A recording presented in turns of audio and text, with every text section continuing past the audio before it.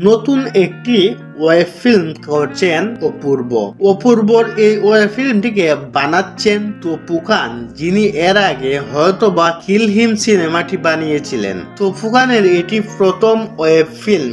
এই ফিল্মটিতে অপূর্ব একজন বিচারকের বা জজের চরিত্রে অভিনয় করবেন। তাছাড়া এটি ট্রেইলারটি দেখে এটিও ধারণা পাওয়া যাচ্ছে, এখানে আমরা অপূর্বকে অ্যাকশন করতে দেখব।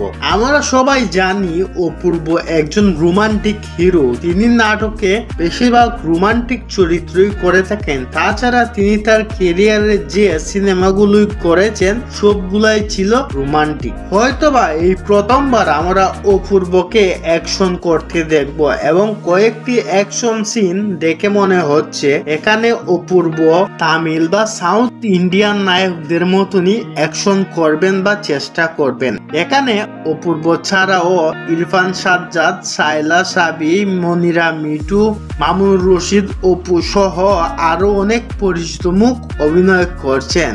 এই ওয়েব ফিল্মটির নাম ডার্ক জাস্টিস এখানে অপূর্বকে একজন সৎ জজ বা বিচারক হিসাবে দেখানো হয়েছে এবং যে বিচার তিনি কোর্টের মধ্যে হয়তোবা করতে পারেন না বা বেশি প্রভাবশালী কেউ নিজের ক্ষমতা দেখিয়ে বেরিয়ে যায়, তাদেরকে তিনি কোর্টের বাইরে বা আদালতের বাইরে তাদের শাস্তি দেন। তাছাড়া এখানে মনে হচ্ছে শুধু একটি কেস নিয়ে নয়, এখানে আমাদের সামনে অন্যরকম একটি গল্প ধরা হবে। ট্রেলারে সবাইকে অল্প অল্প সিন দেওয়া হয়েছে এবং সাইলা সাবি, ইরফান সাজ্জাদ সহ আরও অনেকের ক্যারেক্টার সম্পর্কে আমরা এখনও কিছুই জানতে পারিনি। তাছাড়া মনিরা মিটু এই ওয়েব ফিল্মটিতে একজন উকিলের চরিত্রে অভিনয় করবেন। আমরা সকলেই জানি তিনি একজন ভালো অভিনেত্রী। তাছাড়া মামুনুর রশিদ অপু হয়তোবা এই ওয়েব ফিল্মটির বিলেন চরিত্রে অভিনয় করবেন। আপনারা অপূর্বকে এই অ্যাকশন লুকে দেখতে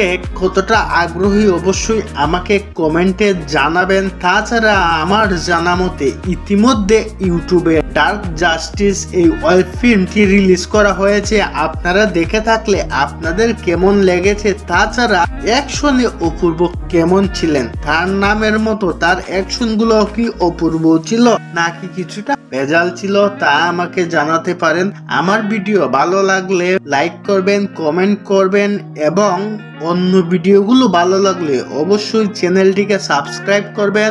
সবাই ভালো থাকবেন। ধন্যবাদ। সবাই